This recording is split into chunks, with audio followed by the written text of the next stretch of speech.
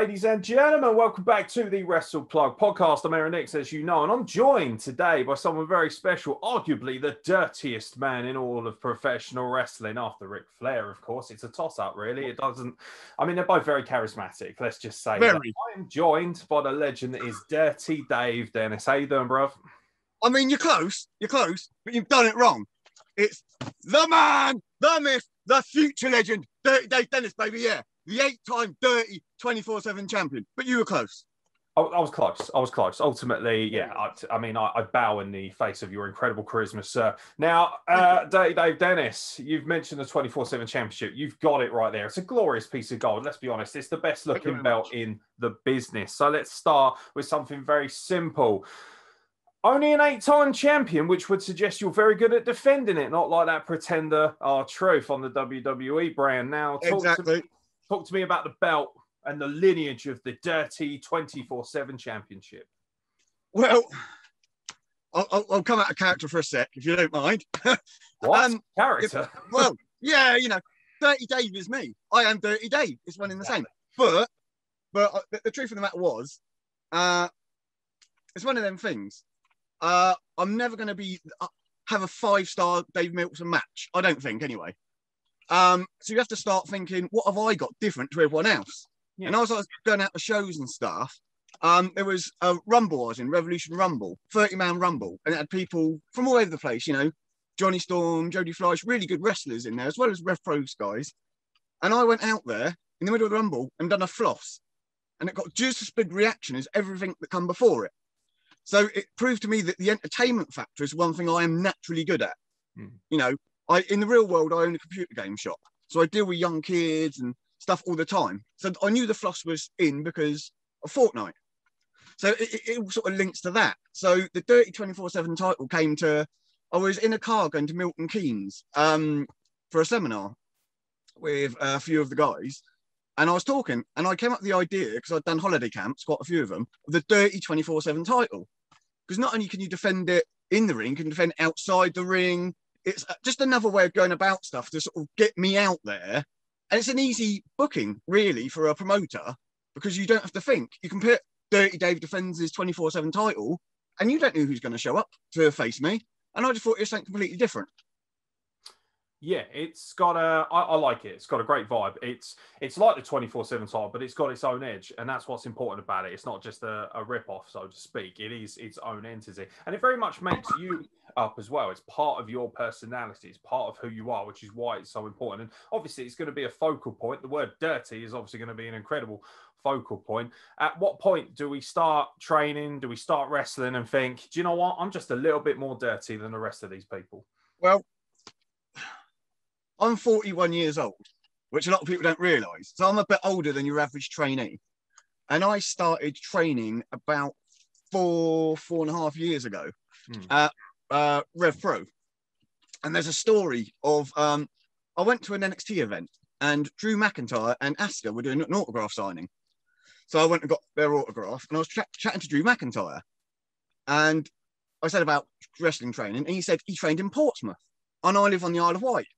And he was telling me he used to come all the way from Scotland to Portsmouth to training. And I was always sort of made an excuse that I'm on the Isle of Wight, it's too far to go to training. Hmm. But after hearing that, I Googled it. And the very next week, they were starting a Monday session for new newbies, basically. Uh, so I went along to that. And it was uh, Rishi Ghosh and it was Dan McGee doing the training there.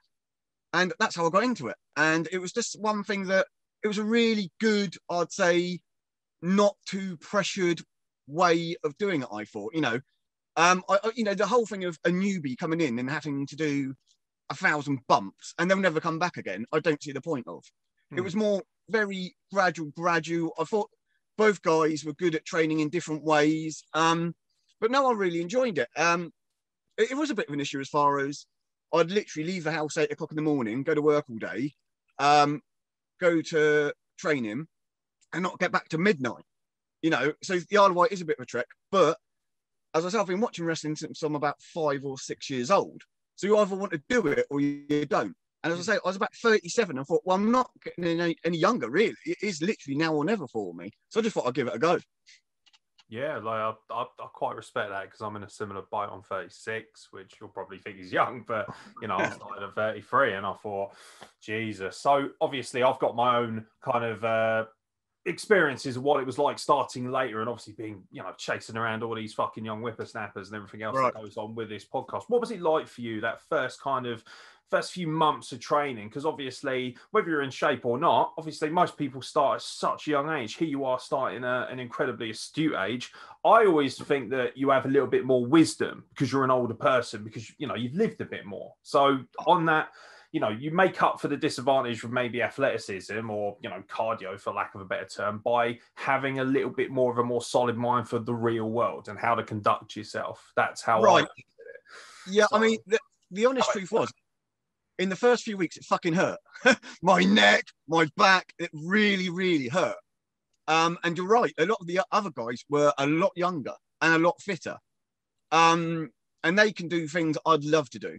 Mm. But one thing within, I'd say, a month of training, I was going maybe once, uh, twice a week because they used to do special seminars, you know, with different wrestlers and stuff like that as well.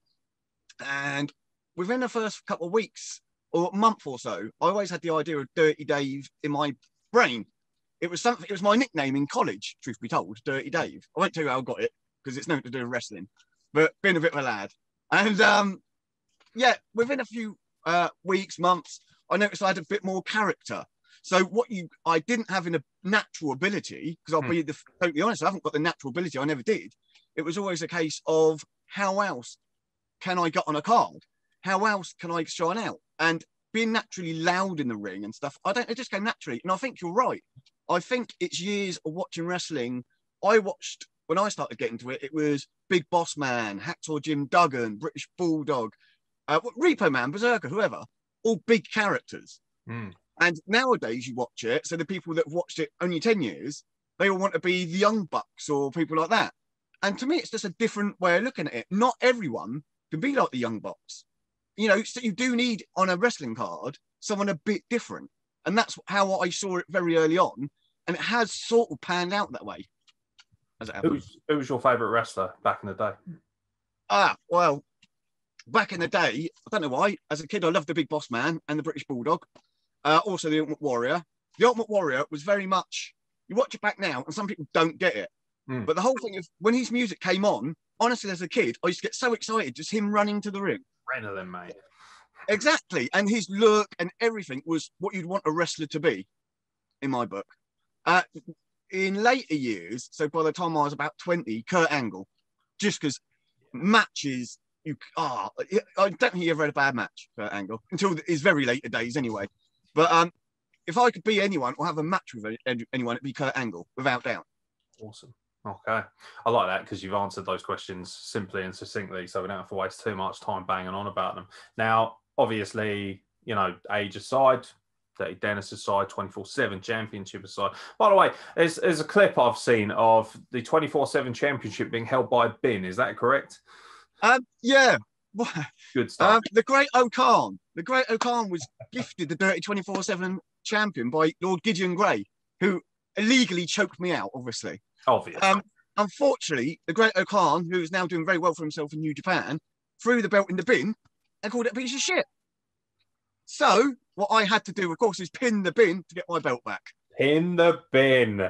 And again, if you watch what's happening in Japan and stuff like that, or in the Indies in America, there's a lot of random stuff now. People know wrestling isn't real. It's not real, it's scripted, you know. Um, so why try and pretend it is? Why can't you do something a bit different? Yeah, that's my way of looking at it. Yeah, I, I, like that, and like it's very evident. Like you've actually been on my radar for quite a while. Obviously, going to Rev Pro myself, your name gets thrown around quite a bit as one of the more charismatic lads.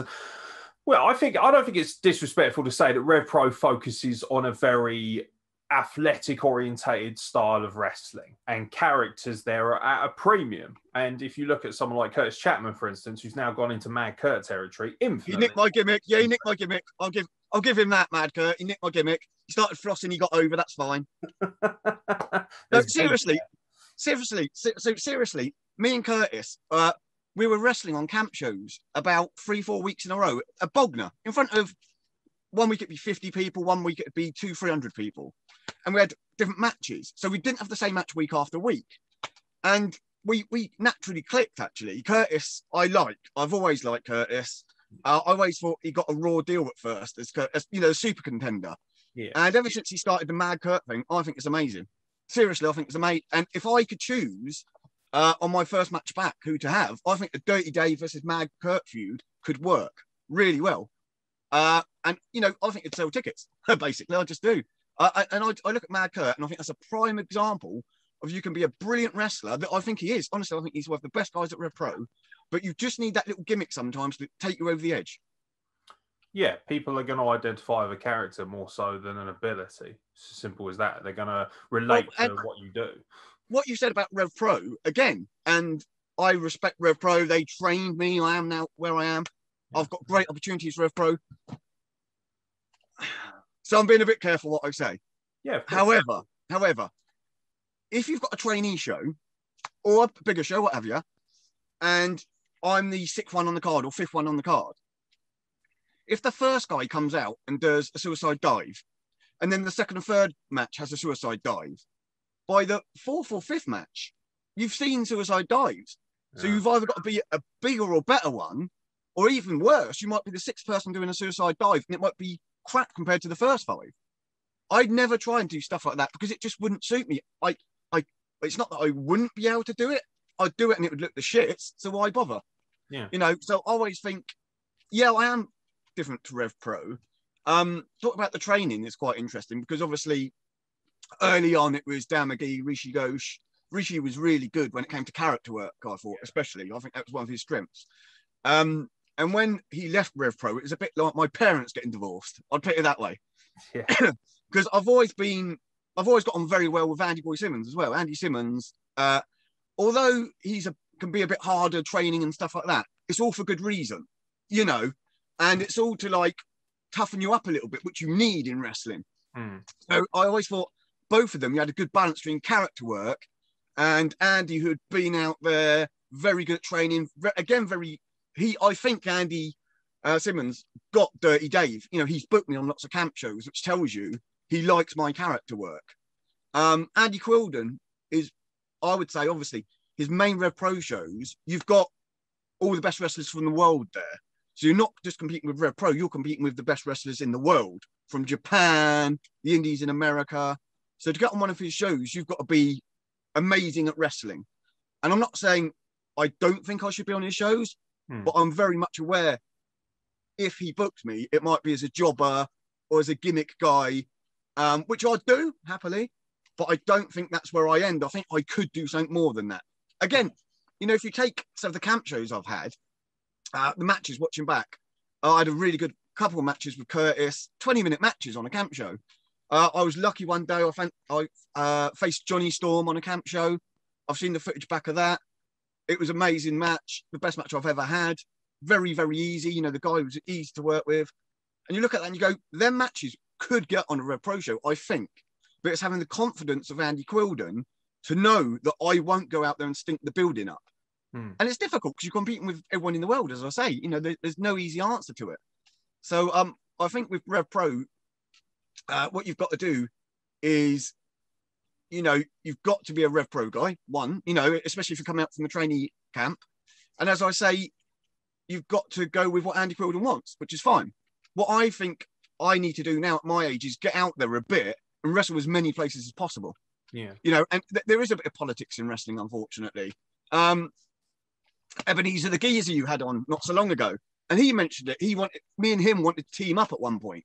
It just never happened. And it was around the time that Q Wrestling started and Rev Pro, and you could you it felt like anyway, from my point of view, you couldn't be a Q guy and a Rev Pro guy. You had to be one or the other, and that's one of the reasons our tag team just didn't happen because you couldn't go. It felt to both schools um, without getting um, I don't know, without getting a bit of a backlash. I think it's fair to say.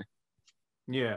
Do you, do you still think that's the case? Do you think that'll be the case when things go back to normal? That there'll still be a somewhat of a not dissension, but uh, well, maybe yeah, fuck it, dissension. Maybe there will be that kind of difference because, like you say, like I'm somebody who's trained at both schools, and I know a lot of guys around me, and obviously knowing Ebenezer the Geezer so well, you know, there is that kind of you know, minimal backlash, attitude, a little bit of a kind of brazen way of looking at you, as if to say, you know, okay, well, you've gone equality, um, so it's I know, and it's not me sitting on the fence. That's not me, but I can see both sides to this one. Hmm. So when you start getting, I'm a businessman in the real world. I own a computer game shop, and if I employed someone and I showed them the ropes of my computer game shop, and then they opened a computer game shop a couple of miles away from me, would hmm. I be happy? So I understand the business side to it. So uh, if a lot of guys leave Rev Pro and go to Q, that affects the financial side to it. So I can understand that sort of backlash. Excuse me. I think there was a couple of guys caught in the middle of that, which I am one. Because as I've already said, I had a loyalty to Rishi because he helped train me. You know, he, he, he, he was my first ever singles match. Really got on with the guy, really do to this day. Um, but again, the Andys, understandably, weren't overly happy with it. So I chose to stay with a pro mainly because the opportunity, you know, I want to shoot for the stars. Yeah. And I just felt Rev Pro, um, I'd rather be a small fish in a big pond than a big fish in a small pond, if that makes sense. Yeah, makes total sense. That was my attitude at the time. Now I'm starting to think, should I go out there more? What more can I do?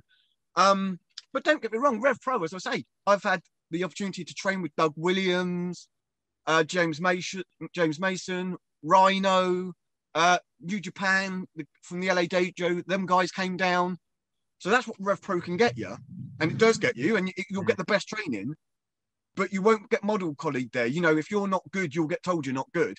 So it takes a strong mental attitude to do it. Yeah, it does. Um, Q, I think you could go there at any level and be comfortable, and it's very welcoming. I personally haven't been there because of the politics. Yeah. Um, and that's nothing to do. You know, I there's guys that go to Q that I get on really well with. There really is. Um, and in a perfect world, you would, you know, I'd be happy to go to both. But if that then stops you getting booked, it has a reverse effect. You know, you've you've got to choose where you think you're going. And another thing, Rev Pro, um, certainly until very recently anyway, they also get a lot of camp show matches, and that's where my character, particularly, seems to get over a lot with the crowd on stuff like camp shows, young audiences, if that makes sense. Yeah, I mean, I don't dislike either, and I actually I, I likened I really enjoyed my training experience at Rev Pro because it taught me how to be a better athlete and be more physical and understand my conditioning better. When you know, and then when I went to quality, it was more about right let's start showing you out a bit more. Let's see what right. kind of chops you've got, your promotions, your skills. Like, let's see some of that podcast personality coming into the wrestling and that. And like for me, I don't really give two shits about people's fucking politics and their bollocks. Right. I don't. I care about my aspects. And the reason I'm interested in asking you is because of your age, like myself, an older guy wrestling. I think personally, I've got far less tolerance for bollocks and bullshit. Yeah. And I've got to an age now where I think, well, you know, I'm 36, mate. I haven't got time to be messing around and dealing with your little squabbles. I don't care. I want to go somewhere where I'm going to be afforded the best opportunities that I want to express myself in. Surely at your age, though, now you must be thinking, like you say, you've kind of lent to it in that answer. You must be thinking, it's kind of time to take Dirty Dave Dennis everywhere, not just right. in that isolated area. Because I try and you're not going I, right, exactly. And it's one of them things. Um, I'm quite naturally a loyal guy. I just am. But when you're caught between a rock and a hard place, and I think a couple of us guys were that started on the Mondays and then didn't jump to Q, you've almost got to start at the bottom and prove to, to the guys at Rev Pro that you're worthy of being on the cards. Hmm. There's only so many spaces on the card. So if it gets to a point where you're not getting booked, you have to look elsewhere. Um, and as you rightly say, at my age, I've got wife and kids to look after. So I'm at work all day. So then if I come to training and get involved in politics, it rubs me up the wrong way naturally. And I, there's been a couple of occasions that I've had to bite my tongue um, because, look, as I said, there'll be guys starting after I started training with Rev Pro who are naturally better than me and rightly get on the card. I, what I need personally is to think that if I do well, there's a chance of getting on the main Rev Pro shows, you know. Hmm. And the, uh, the, the, trainee shows, for example, you you tell me, right? I do the train. I go to the trainee shows. I wrestle on the trainee shows. Yeah, I do the best I, I can on my ability. Uh, but that doesn't that hasn't so far led to me going to the next level. So if I can't break through the glass ceiling, then I have to go somewhere else. You know, it, it's it's one of them things that, especially with this year out, it's really woken me up to yeah. look. I've had a year out. For me, as you say, as you get older, that year means a lot. Yeah. You know, um. So if I go to a training show, the last the last training show I was on, I had the Dirty Dave Open Challenge, and I took on two guys making their debut, and the match wasn't amazing, but it got over. Right. You know, the crowd were into it the two matches. The third time, I called Andy Simmons up. He rolls me up. He wins the belt off me. Watching the footage back, it got a great reaction. Absolute great reaction. It's a simple roll up, but him winning the belt got a great reaction. Um, I'd like to think that would have led somewhere, but now because everything that's happened in the world during lockdown, yeah. um, then obviously the way Rev Pro school is run is now different. You're not trying to impress the two Andys, you're trying to impress the one Andy so if if Andy Simmons in my in was a good guy for booking me for character, and Andy Quildan isn't such a character. He likes characters, but he likes five star matches. It's mm. going to be very hard for me to do that. Um, and well, you tell me, what do you think of when I've been on trainee shows? I I get good feedback from the crowd, but it doesn't seem that that gets me anywhere. It's it's quite frustrating. There's a conversation I have with Ebenezer the Geezer, and as everybody knows, I've ruffled a lot of feathers on this podcast. I will continue to do so because I don't give you fake opinions. I give you my genuine opinions, yeah, which is nice to get, real or not. Um, me personally, I would have you booked on more shows because I enjoy characters a lot more. And for instance, I've worked at CWP, which is a very character-heavy organization, and because of that, I was afforded an opportunity because I am a, I'm a berserker. You know, I'm 6'4", I'm 350 pounds. I'm, I'm a big lad. So for me. I look to guys like Vader and Bam Bam Bigelow Bigelow. They're my inspiration. They're the guys I want to be like. And so for me, uh, I think that I'm a charismatic enough person in general life, but in wrestling, it was difficult for me to get over the anxieties and the issues involved with the mental hurdle because I'm not the person with the thickest skin in the room. I'm the person who likes to look after everyone. I'm everyone's big brother. So for me, I found that when I went to somewhere like CWP, I was afforded an opportunity to express myself and my charisma. And I don't feel like, you know, I don't think it's, I don't think Andy Quildan would disagree if he was sitting right here that Dirty Dave Dennis has not had enough opportunities on the Rev Pro brand alone to express what kind of character he is. And I go to those shows at Buckland Community Centre. I love those shows because they are, for me, grassroots wrestling. And I'm right, very much grassroots football. You know, I'm a Lincoln City fan, have been my whole life. I like the dirty, grimy, pun intended, nonsense yeah. of what it you know what it entails. I like that, yeah. and I like to go into places like CWP. For instance, I wrestle for the rather vaunted Renegade, you know, and I liked that. It was gritty. It was a nightclub. There's only ten people in it. There's no safety net there. You either go out there and do something, or you look like a piece of crap. And exactly. yeah. So for me, yeah, Dave Dennis should be on better shows. But at the same time, you're an old enough man to understand this. Do you feel that it's up to you to almost break away from your sense of loyalty to that brand to become what you um, really want to be? Yeah. Um, it's different. There's a story about which is why I got on to the last Buckland show.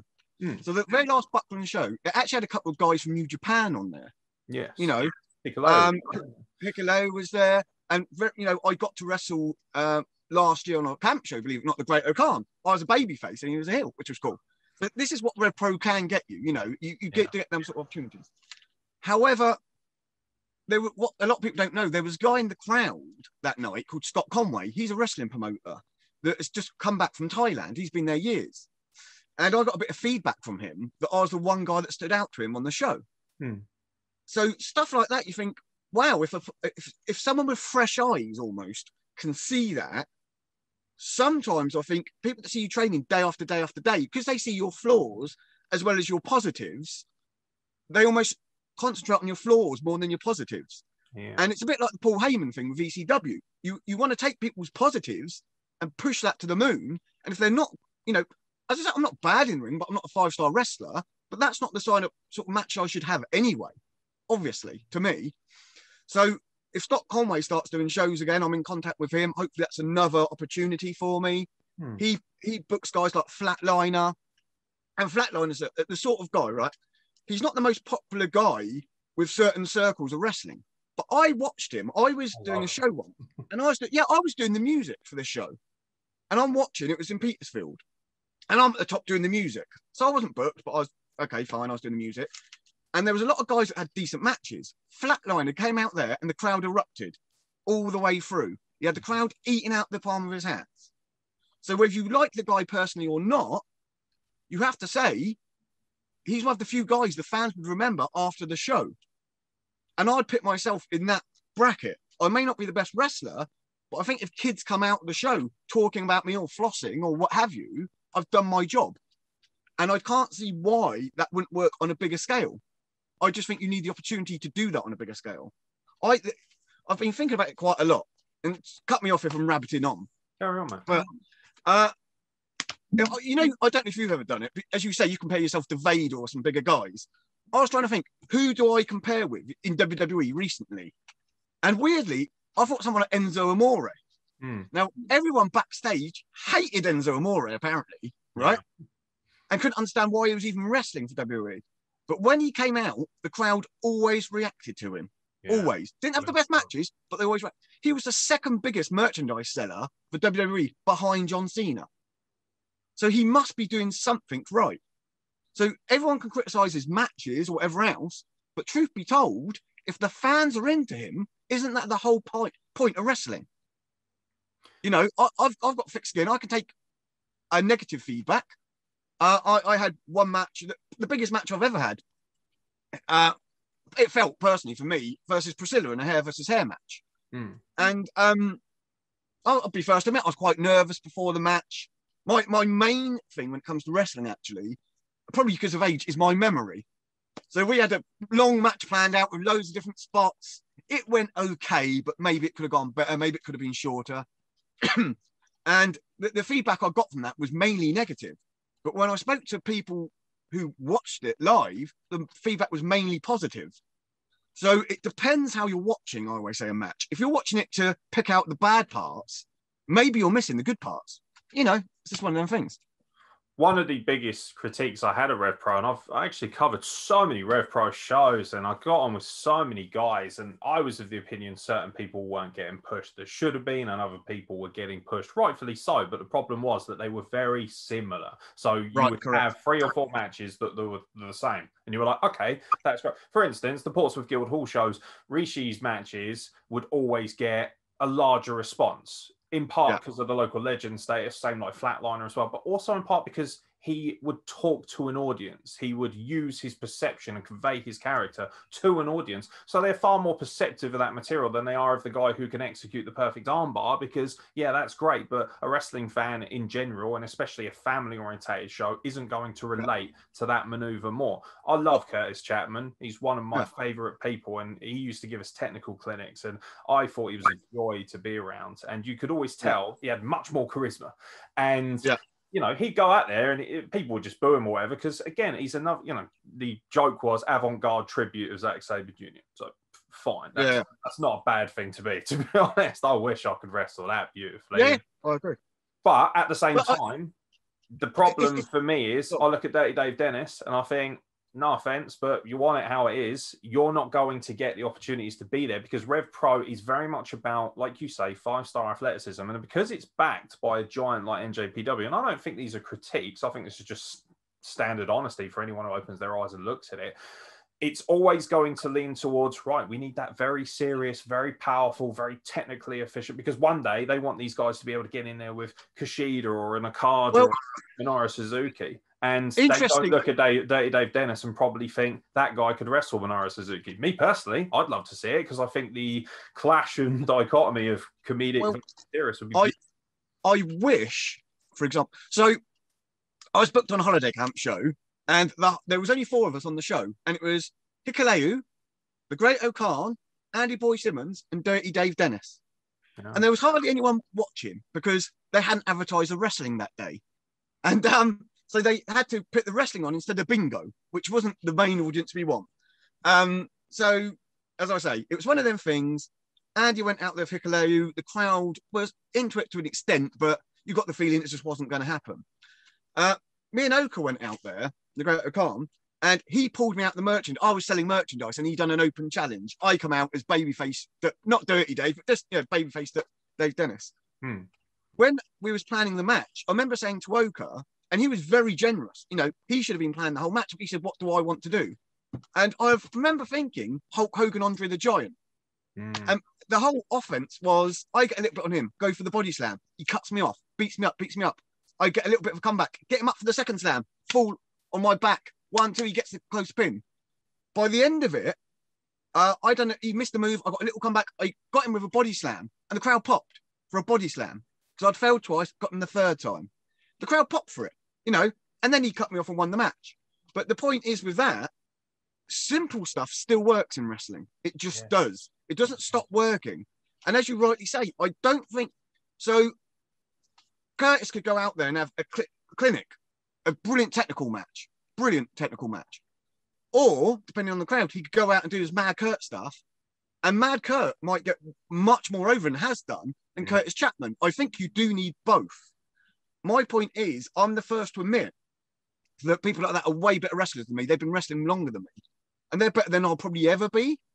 But I think sometimes with company with guys at Rev Pro, they've got more to show. I mean, one of the guys I'd point out personally uh, that I get on with is Louis Kenneth Halfpenny, right? right? I think he really helped me in the beginner sessions as well. He, he was always there with Dan McGee doing tech. Him and Dan, brilliant. Can't put him over enough.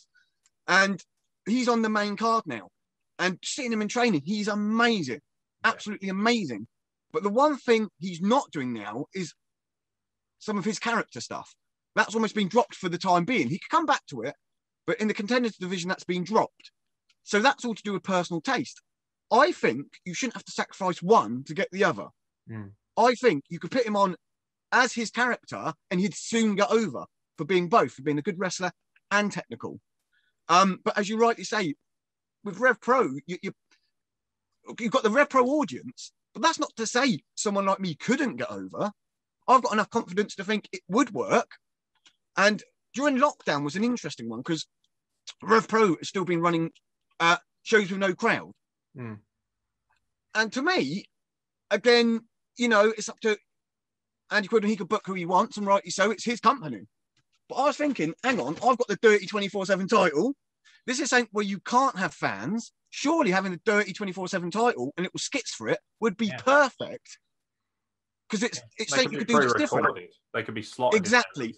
Exactly. It's something different. It's something completely different that could take up five minutes of your show. And that's how you'd get someone like me over while you can't have a crowd. And then when I come out in front of a crowd, even if a wrestler comes out and, and I job out, there's ways of getting over for people like me. And I just know it. My thing is, as you rightly said with the age, is if I was 10 years younger, I'd think, no, I'm going to carry on, carry on. I, I've, I'm going to carry on wrestling, but I'll wrestle wherever will book me now. And I, I, I want the bookings. I'm getting a bit frustrated actually with seeing all the wrestling posters come out of people that I know are less experienced than me, mm. or, or, or maybe better wrestling, but aren't um, as entertaining as me, and they're getting booked. I've emailed lots of promoters, and some just don't get back to you. And without being harsh, I think that's really rude. I only shop if someone messages me, I'll message them back. Yeah. But even if it's a CV, I message them back. Um, so I, I, think it's interesting because in wrestling, it is so political now. And as I say, I'm in, in a situation where I genuinely like training with Rev Pro. I appreciate what they've done for me. Do you know what I mean? Um, but if they're not going to book me on the main shows, I I have to get booked somewhere else. Because by the time I'm 45, 50, I'm going to look back going, why didn't I try somewhere else? Yeah. Uh, and, and you know, as I say, uh, Rishi was my debut match. I watched that back very fondly. We, we went a couple of years ago, we watched it. We, uh, we, loads of us went out, loads of the Q guys, and there was, I think, two guys, me and one other guy from Rev Pro there, um, that all met up, that all got on, and we watched Fighting with Your Family, the premiere, which was really cool. And I chatted to him a bit there, and he was saying, you know, he was very proud of the match we had as a debut match because it was something, you know, he got my character over and I got his character over. And I do feel I can get other people over as well. It's not just me I can get over, I can get other people over. But if you're not booked, that ain't going to happen. You know, you need the opportunity to do that. And uh, as I say, it, it's one of them things that if if you if again, I'm being a bit careful what I say, but if a certain promoter doesn't like the way you wrestle, well, I can't do moonsaults. I'm not. I, am not very good at suicide dives. Hmm. So if you look at other places booking bigger characters, it almost it, it seems a no-brainer. I have to go there, and not training necessarily, but go there to wrestle certainly. But obviously now with Q and Rev Pro, the chance of getting booked without training there is nearly impossible. So Rev Pro, let's be honest, aren't going to go to Q and book a load of guys, and it's the same the other way. Q won't book a load of Rev Pro guys because they'll push their own guys, and rightly so. Uh, but that also then has an effect when Q have deals with other companies as well, you know, mm. uh, with Chris K and guys like that. And so, you know, you almost have to get out there, and I feel I have to now. And some of it is my fault for not doing it sooner. And message these guys going, look, please give me a chance. You know, without begging too hard, like, please watch what I can do. Because I think if you booked me, you'd be happy with what I can do. You know, it, it, it's a hard work. I, I personally found it hard just to break that glass ceiling. I, I don't know why. And a bit like Dexter, you know, but Ebenezer said, you know, there's certain guys. As soon as Dexter started training, I loved his gimmick immediately. You know, he's a guy I would book 100%. And I thought, teamed up as the Dirty Geezers, right? We could have been maybe like a Too Cool or something when they first started, you know. Yeah. But they, you know, the thing about Too Cool, people forget Scotty Too Scotty Too Hotty doing the worm very much got over with the mass audience. Now, why couldn't me and Dex get over? And now what Rev Pro done, uh, and it was to get me on the card, so I can't argue. They teamed me with Simon, and Simon is genuinely one of my best mates in wrestling.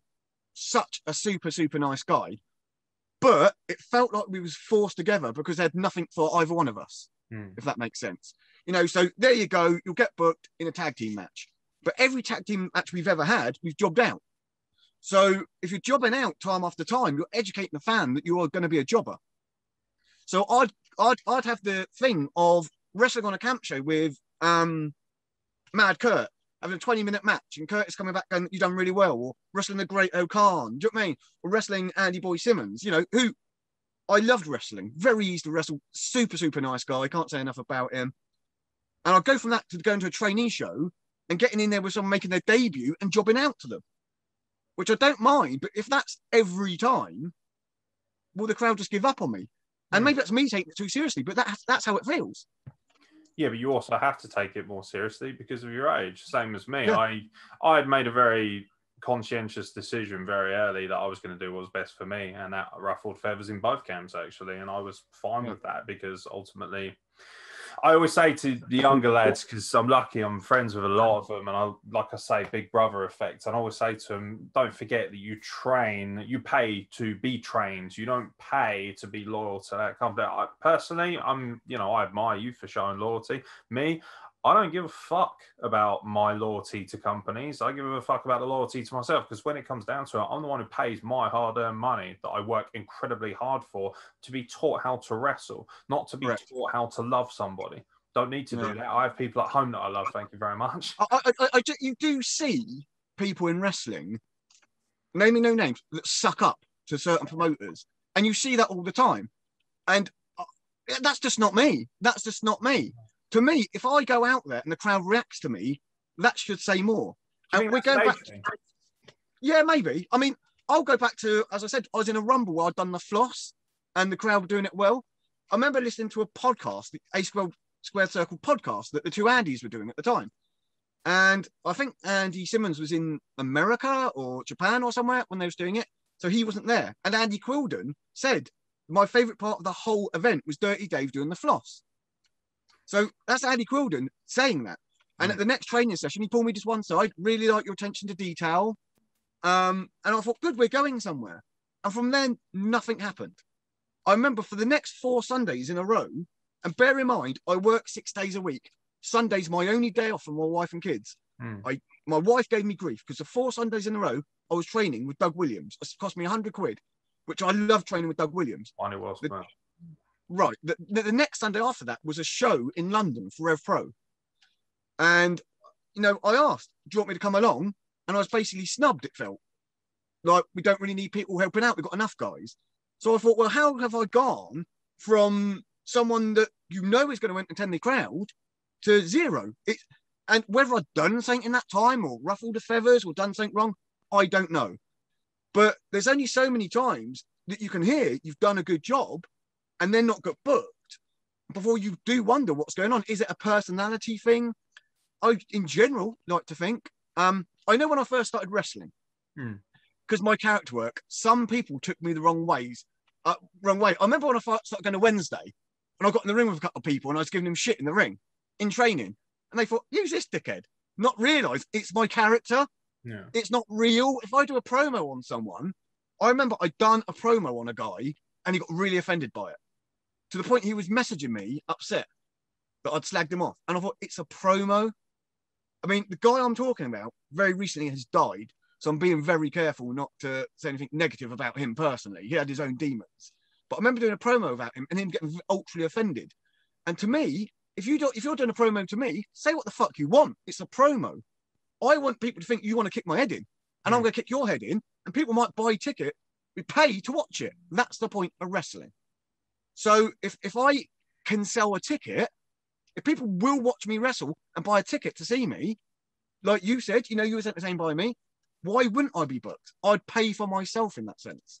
And from a business point of view, I can't understand um, some of them reasons. As I said, so after listening to that podcast, you know, my, my confidence, you know, that I was the best thing on the show or very entertaining was a million percent.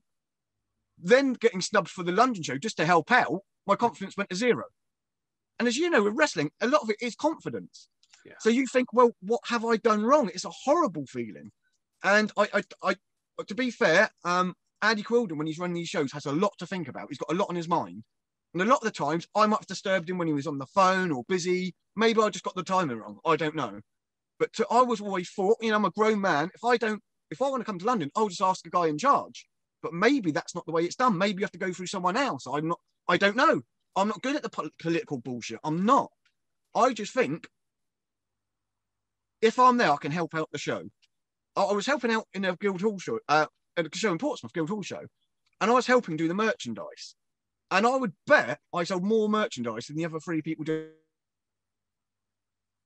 doing merch together. But again, nothing got mentioned about that. And I, it's certain things that you think I am an asset to have. I know I am, even from a business point of view, but that's not getting used. And for a grown man to feel that way, as I say, with wife and kids at home, I, I do feel now that, as I said, I don't want to look back thinking, why didn't I try harder? So, as I said, if anyone listening to this, if you're a promoter and you want to book me, ping me a message. I'm more than happy to wrestle, whether it's Kapow, whether you know Outcast wrestling, wrestling. Um, varied. Ve- I've heard varied things about Outcast I on was the going to ask you about Outcast because it's your local promotion. Well, funny enough, right? So there's a lot of people that knock Outcast, okay? And the, the thing is, uh, Matt Jackson, who runs Outcast and owns Outcast, I only got to know him when he came to my shop asking to put a poster up. And I was like, fuck, a wrestling school opening on the Isle of Wight. I, I was in two minds. Again, good idea. Business wise, is there enough people on the Isle of Wight to make it pay? And initially, he got a lot of guys from the mainland, a lot of Rev Pro guys down for Outcast. And he's cut that back, I assume, to save money because obviously it's expensive to bring people over, especially if you're drawing 100, 150 people. It's hard to make it pay. Um, but it's one of them things. I'm happy to wrestle there. For me, it's a nice, easy booking. Without being rude, I can work all day, finish my job, drive 10 miles up the road, get paid to wrestle, and come home again. Perfect. No late night. You know, I'm home by 11, which for wrestling is nothing. Yeah. Um, with Outcast, they've got some really, yeah, they've got some good guys there, but they've got some guys that aren't ready yet as well. It's a mix, and I think Matt would admit that admit that himself. Um, and that's a tricky one because Matt, again, like anywhere else, can teach him what he knows, but he can't teach him what he doesn't know. So, so for me personally, with Rev Pro, as I said before, that's why I love training with um, someone different, whether it's Johnny and Jody when they're over, Doug Williams, because they'll teach. Like James Mason was interesting. I was in the ring with Little Dan, uh, who's just left Rev Pro, unfortunately. But I was in the ring with him, and James Mason actually called other guys over and went, Look what they're doing, it's really good. And again, it was the whole fresh eyes. Someone looking with fresh eyes will see something someone else won't. So people might not outcast or kapow or anything like that. But if the fans like it, can it be that wrong? If the fans are going away happy, who are we to knock it? I honestly believe there's a lot of snobbery in wrestling, and actually it annoys me. Because why should why if the, if the fans are happy, what right have we got to be snobby? It's wrong.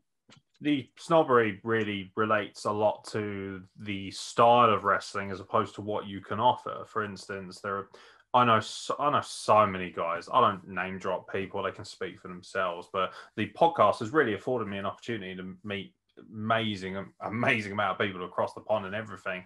And one of the main things that people say is because I'm not as technically proficient or because I'm more character based. And on the flip side, some people who are so character based but can't do very simple things like rolls up and uh, you know, they think, yeah. okay, well, you know, I can't get on shows for whatever reason. But for me, like, you know, me and Dexter have spoken so much about this. I want this brand to be big enough to a point where I can almost adapt it to be like a WCPW sort of thing where I can run my own shows. And I'm much more interested in what the people want than what the wrestlers want, and pe- that that upsets people, and I don't care because I, ultimately I'm going to pay you as a wrestler to perform, but at the top of the card, and the most important thing is the people paying to come and see it. And yeah. you know, you want to feel, you want to make everyone out there feel the same way that you felt when you were young, when you were a fan, when you were sat right. in the chairs, when you were sat in that cheap seat or whatever it was. And one of the reasons that really drew me to Rev Pro was first of all, it's local, which is very cool. You're very blessed if you live in a Portsmouth area like I do because yeah. you've options. But you know, I remember going like when I first started going, it was guys like Flatliner and Johnny Storm and people who were exceptionally charismatic and entertaining. And I love technical wrestling. I do. I watch New Japan fluidly and I really enjoy it. But even there, like for instance, with the New Japan crossover, first thing that came to mind with me was Dirty Dave Dennis Toru Yano. Books itself. Easy money as far as I'm concerned. Um, you great. be able to write it. It'd just be good fun. It'd just be good yeah. fun. But I can spend hours obviously sitting here talking to you about that. But something I do want to talk about, moving it not necessarily moving it away because it's your podcast. You can talk for whatever you want, but something I want to touch on before we get close to the end is uh, the cameos because I love those. I love the fact that, yeah, but do you know what I love about those? That's self investment. You've gone out yeah. there and said to people, whether people like you or not, and I can understand why some people might be rubbed up the wrong way from you because ultimately they can't separate character from the human being. They can't. Yeah, I know.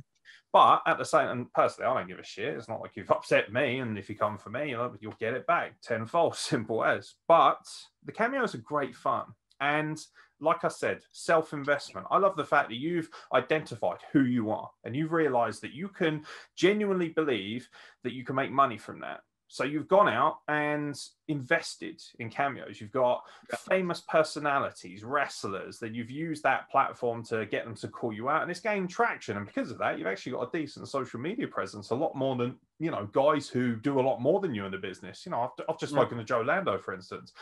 Probably one of the most insane high flyers in the business, and yet he's probably got about the same social media following as you do, which shows that it's not always necessarily about being a great athlete. It's about how you what? can draw people in. Talk to me about the cameos.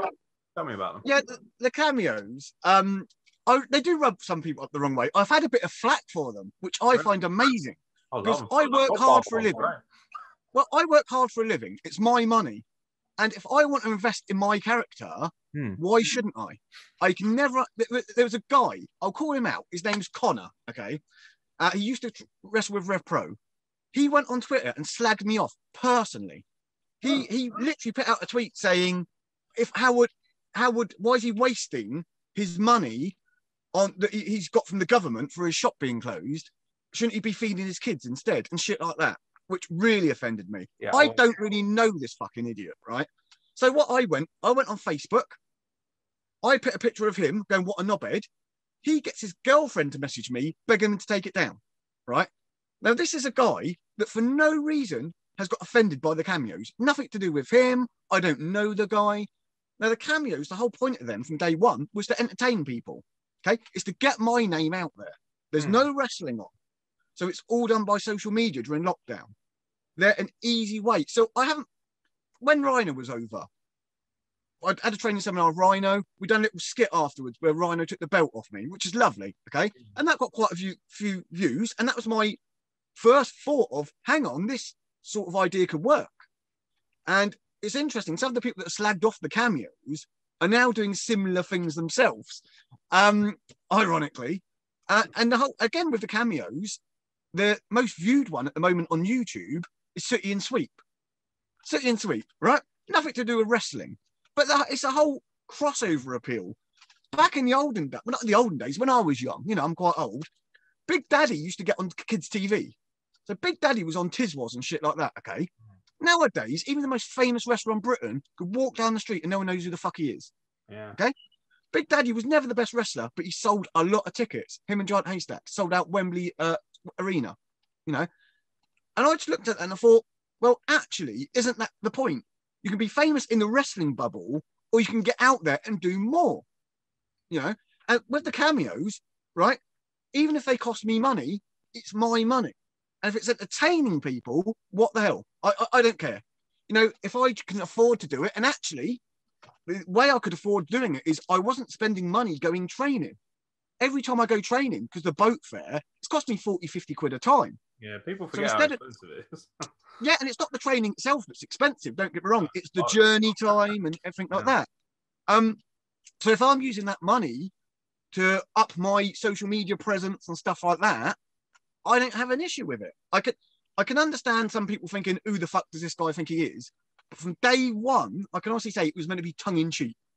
It was never meant to be overly serious. It was meant to be entertaining. Some of the some of the celebrities I've got were purposely Z list, like Lisa from Big Brother and stuff. She was like a tenor. Do you know what I mean? But for me, it's a Z list celebrity. Give me a shout out. Who cares? You know, I had some the woman from Gogglebox who now is friends with me on Facebook. Do you know what I mean? And I'm like, if I could get her, a bird from Gogglebox, onto a wrestling show, the crowd would pop. The crowd would pop for that because yeah. it's silly shit that suits my gimmick. Someone out there challenging me for the dirty 24 7 title works for my gimmick. If Mick Foley will do a video for me and he's happy with it and I'm happy with it, and he's challenging me for the belt, does that help next time I'm defending the title on a show? So if someone advertised that I'm defending this versus a mystery opponent, if a couple of people buy tickets thinking it might be Rhino, it might be Mick Foley, what harm does that do? The promoter's the one who's laughing. He's got an open goal because he can bring out a legend people haven't seen for years. He could bring out a newbie. He could bring out a dog or cat or mouse or rabbit. I don't care. And, you know, pin me for the belt. And for me, it was a way of getting my name out there. And as you say, if I've if I'm getting views online, I cannot see a negative side to that. I can see how some people are offended, but as you say, I don't really give a fuck about the people that are offended. Some of them don't even know me. Yeah. Um, I mean, obviously, it's not for me to say what people are offended by, but my friend Nick always has the very famous phrase of offences taken, not given, which I've always kept with me. And uh, I, I don't have a problem with people being offended, but at the same time, get over it. you know, you can't be offended forever. And Not only that, wrestling isn't real. People have to remember wrestling. the biggest company in the world is called World Wrestling Entertainment. Yeah. Not I mean, World Wrestling Bunny on their program right now, so right. And from what I understand, he's shifting a load of merchandise. He is. He's number one merch though. And people knock WWE all the time. You hear people, New Japan's great, WWE. Vince McMahon is a billionaire. He must be doing something right. You know, and as we said before, some of the guys he's pushed in the past, Hacksaw Jim Duggan and stuff like that. What a great character. Mm. Always got the crowd going. Very simple as well. That's it. You you don't need to have a 20 minute master. He's got a flag and he's shouting hope. That's it. There's nothing too in depth about it. In fact, the only time that he started failing was when he went to WCW and then they tried to make it too in depth by giving him Irish backgrounds and dumb shit like that. And, and they change it. Yeah. Yeah, exactly. But the, the point is uh, exactly what I said before. In my mind, a promoter, if I was a promoter, which I'm not, and would I be a promoter in years to come? I'd love to be. Whether I would or not, I don't know. Physically do it, but I'd love to do it.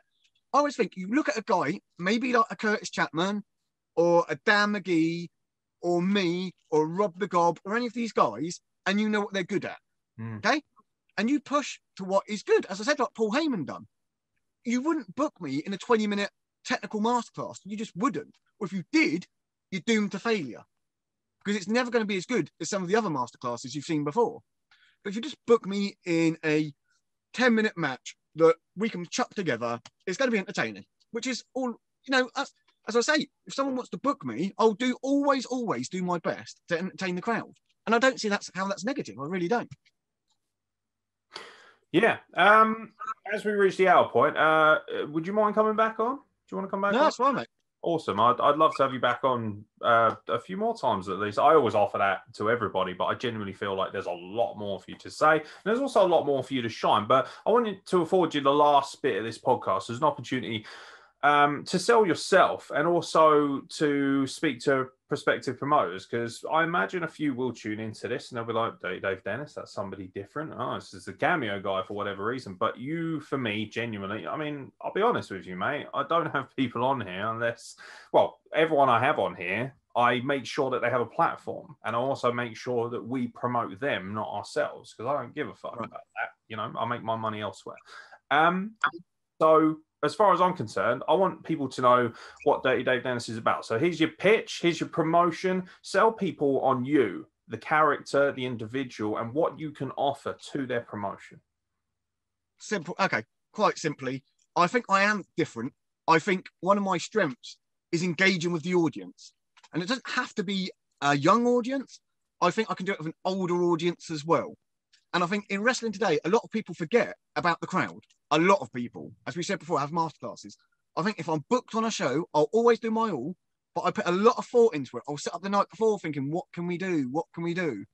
And if I'm booked on a show, I'll always want people to go away. Maybe it's a bit arrogant talking about me or Dirty Dave or that guy with the belt. Hmm. And it's one of them things. I think if I'm a promoter, I'd look at someone like me, honestly, and I've got the Dirty 24 7 title. I think it's an own goal for most promoters. You could book me on a show doing an open challenge. And as I said, if they want me to put their local guy over, I'm happy to do it. So, in a way, even if you use me for a one shot deal, I'd be happy with that. You know, as I said before, I, I, am not arrogant enough to think I should be world champion anywhere, but I think I can add entertainment to any show and literally any show. I, there, there's no limit to it. I, I, as I said before, you look at Enzo Amore in WWE, it worked for him. Mm. And I, I, would beg any promoter to go back and watch some of Enzo Amore's matches and the crowd reaction, the crowd reaction to what he does. And it's the same. One of the things I do, my finishing move, I use rock bottom on people's elbow. Why? The crowd know what it is. Simple but effective. You don't have to change your winning, winning formula. And as I said, I'm not the youngest guy they can book. But I think if you put me with a promotion, I can certainly add and maybe help the young guys out with stuff they haven't thought about before, character wise. Because there might be guys that are 2021 that they've got who are amazing wrestlers, but for whatever reason aren't quite connecting with the crowd. I think if you book me with them, they might see another side because I think I could get their personality over as well.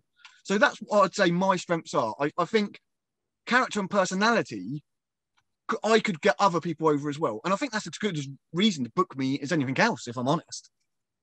Yeah, I, I also really, really admire the fact that you're willing to say on a public platform, this is what I can do, and I deserve opportunities to prove what I can do. Not that I will just go out there and do it. I just want opportunities. well, not only that, I'll be honest. As I said, as I said before, I'll be honest. How I feel at the moment is very frustrated.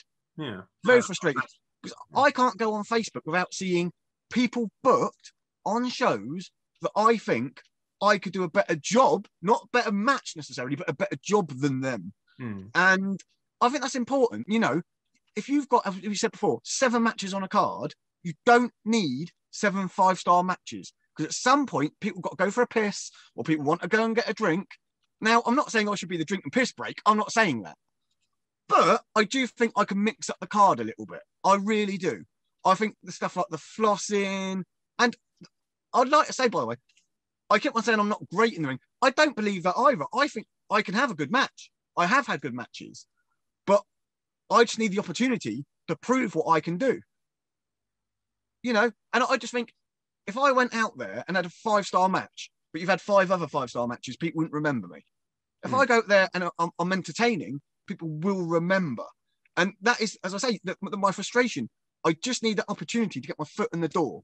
And I, I, for whatever reason, I don't even know why, it feels like sometimes I'm banging my head against a brick wall. And, you know, um, I don't know why is the honest answer. I think some of it is political. Some of it I might be a threat. I do believe that. I remember in the real world, I once I'm, i used to be a chef, and I got employed by as a second chef, and I was so much better than the head chef. That head chef sacked me, sacked me, And it, it taught me a lesson in life. Sometimes you're a threat. Sometimes if someone who's in charge of booking you knows that, look, independently, I own my own game shop. You know, I, I could start a company if I wanted to. Is it some small promoters are a bit worried about booking me in case I might go, oh, nickel your guys. I'll do.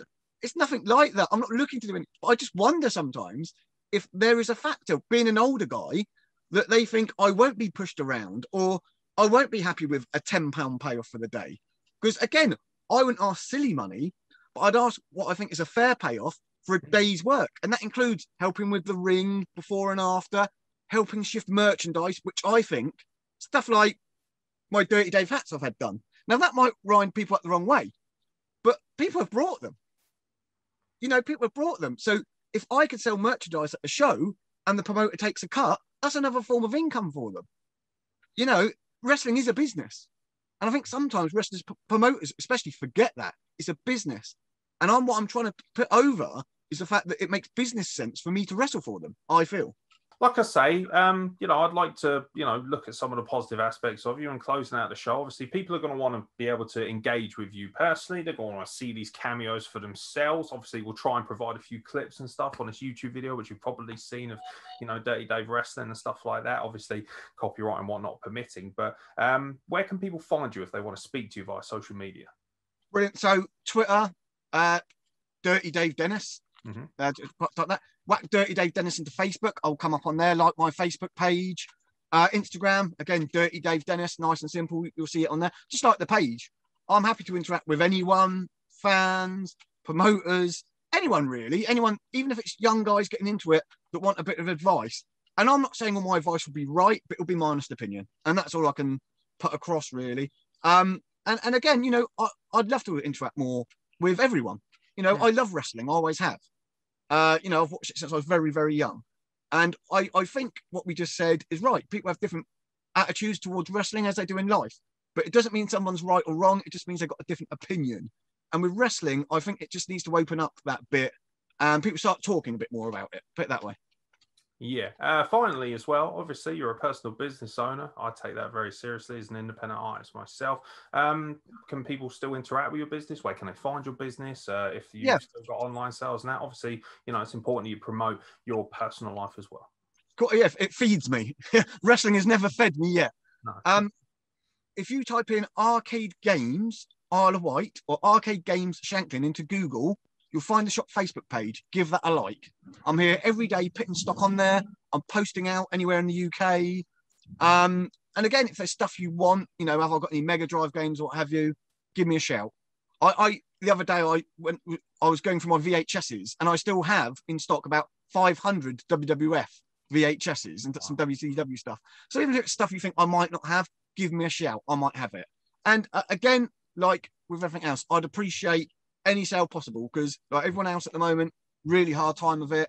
I need to pay the bills like everyone else. Yeah, no, I appreciate the honesty, mate. And all the uh, links uh, will be available, obviously, in the descriptions of these podcasts. So check them out via the YouTube subscription and, of course, on the podcast descriptions as well. Dirty Dave Dennis, it's been a, a very thrilling conversation, actually. It's been quite refreshing. It's uh, definitely not been the norm. And I'm very thankful for that. So thank you for joining me on the podcast, mate. Cheers, mate. Yeah, thank you very much. Cheers, My mate. pleasure. Look after yourself, fella. Take care, mate. Yeah, you too. Thank you very Thank much, mate. Man.